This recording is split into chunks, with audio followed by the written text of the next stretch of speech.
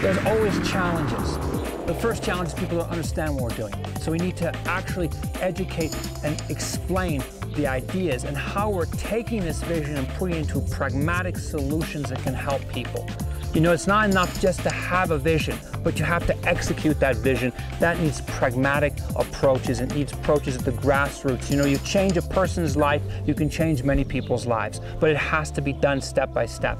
Secondly, what we need to do is in addition to the work we're doing, you know what they say, there's a Zen saying in Zen Buddhism, if a tree falls in the forest but nobody hears it, does it make a sound? It doesn't make a sound if nobody's there to listen.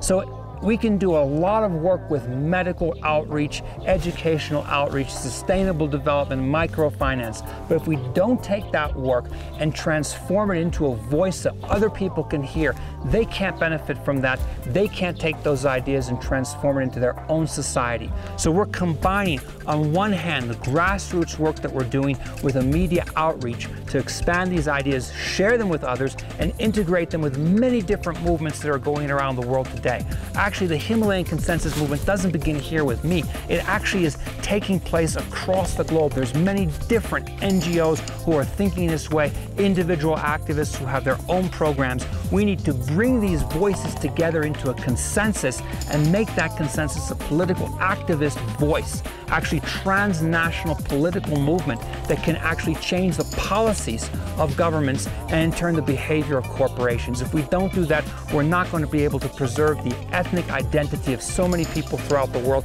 and we're not going to be able to preserve this environment. If we don't have this environment, we have nothing. You know, what is the good of having so much money when you open the door and you walk out and you're breathing polluted air?